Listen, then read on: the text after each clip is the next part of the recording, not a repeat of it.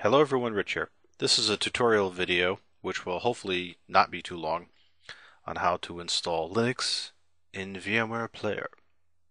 You've seen me do a lot of videos on different Linux distributions as well as different editions of Windows. You can see I have six, yeah, how many do I have? Yeah, six, six versions of Windows.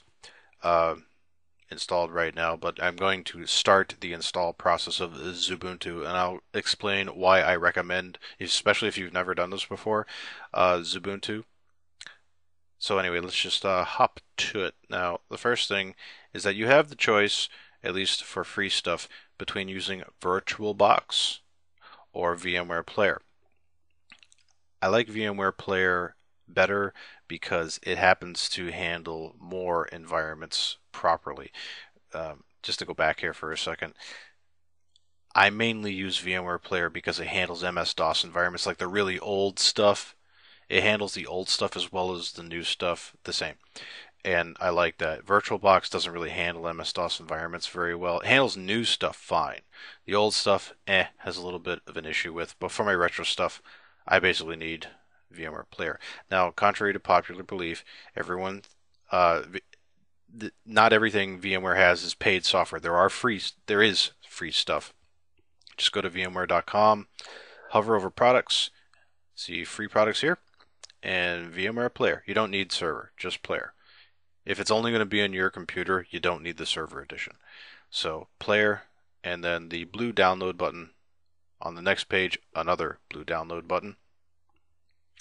Now you are prompted here to make a VMware account. I can say from personal experience that VMware is a reputable company. They will not spam you or send you junk or any of that crap. So you can sign up with confidence, so to speak. And uh, I did, and it's fine. You won't be charged. It's free software. Free, free, free, free, free. So don't worry about it. Now, after you have the software installed, um, I'll show this part in a moment, you need to get an ISO of your Linux distro of choice. Now, I, I recommend Xubuntu for the following reasons. A, it's a Debian release. And uh, VMware Tools loves Debian Linux, and I'll explain that more in a moment. Secondly, it's a light edition of Linux that can install even if you only assign it 64 megs of RAM in the alternate, what they call the alternate install. Um, or you can assign it 256 and it runs fine. And also, Xubuntu does not require any extended, it doesn't require fast video card or any of that jazz. It just installs and runs and works. So, when you do the get Xubuntu thing, you can do uh, Linux or Narwhal, whichever suits you. Now notice right here that I said a moment ago, it says the alternate install CD only requires you to have 64 meg of RAM at install time. You might want to consider that one if you have an older, slower box. Otherwise, just download the regular one, which requires 256, and then just do 1104 United States and then just do the regular PC Intel x86 desktop CD. I do not recommend using 64-bit for the very simple reason you don't need to for a virtual environment because uh, if you were installing this native to the hard drive, sure, if you have a processor capable of supporting a 64-bit environment, go for it. But in a virtual environment, absolutely not necessary. First of all, it's probably true there are no 64-bit apps you need to run for virtual purposes. And secondly, 32-bit doesn't require as much memory as 64-bit does. This is true whether it's Windows or Linux or any other operating system with 32 and 64-bit editions for that matter. So stick to the 32. In the Linux realm, just look for, notice when I hover over this, it shows the file name down here. Just look for the ISO that has i386 in it that essentially means it's a 32-bit release.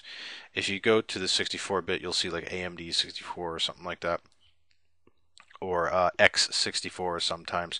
But look for the one that's i386 or i586. Um, I think i686 is also 32-bit. Could be wrong there, but I'm pretty sure it is.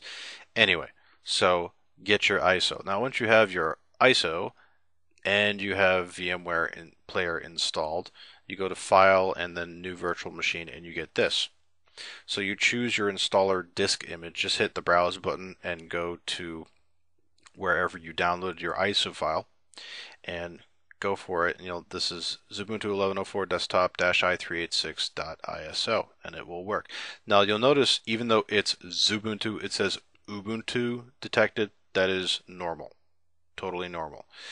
And um, now about VMware tools, which I'll uh, expatiate on a little bit before continuing. VMware Player loves Debian Linux especially Ubuntu, Kubuntu, and Xubuntu, because it will install everything automatically. And I'll show that right now, and it's beautiful.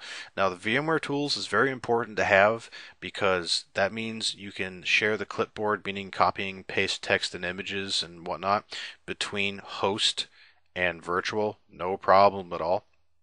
It also means that you can do a full screen. Like, for example, once it's installed, you can do a full screen thing and it will look like you're running native Linux inside Windows or vice versa.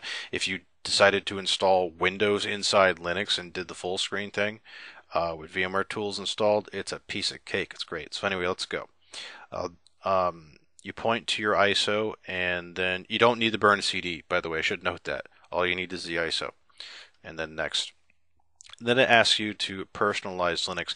Now, what this does is it automatically uh, puts in, it creates an account for you, so you don't have to go through the process. So I'll just put my full name. You can just put your first name if you want. Username, password, confirm.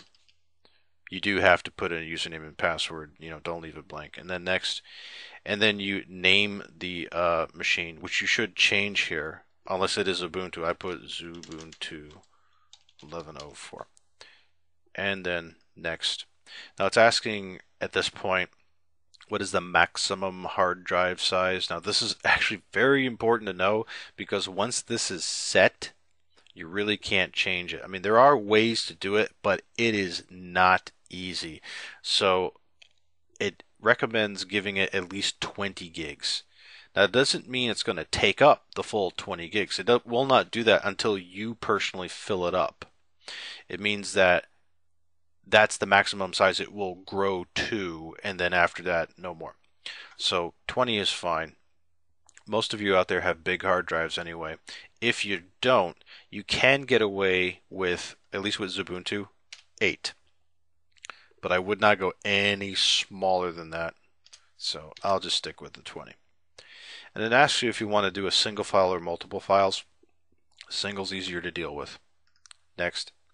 Now you can customize the hardware at this point. By default, it will assign it a, a uh, half a gig of RAM, which is okay.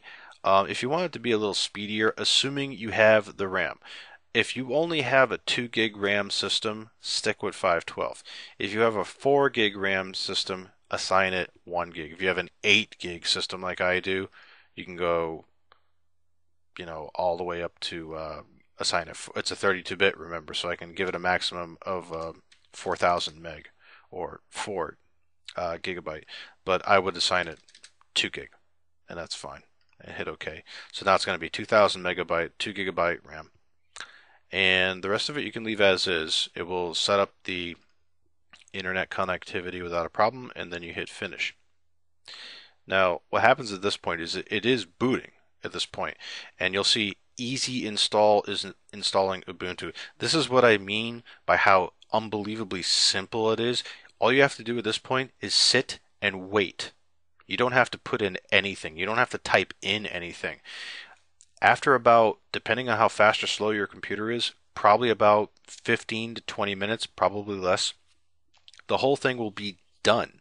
And then you just log in with the username and password you gave it a moment ago, and that's it. Like right now, you you can see it. It's loading, and then it's going to do its thing. Um, this little light right here, it says uh, CD DVD 2. That's the ISO that it's accessing right now. And then in a, I'll wait until it actually shows uh, the install screen. Actually, I'm going to pause the video here and then I'll show the install screen. Okay, the install screen is coming up now. It doesn't show my full capture window here, but it is doing it. See, it says easy install is installing Ubuntu. Let me drag this back down and then it just verifies it's a full GUI install.